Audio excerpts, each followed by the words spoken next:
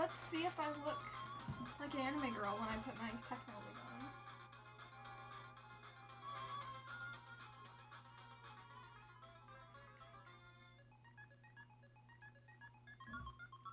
Clip me saying that I look like Jack Manifold. Clip.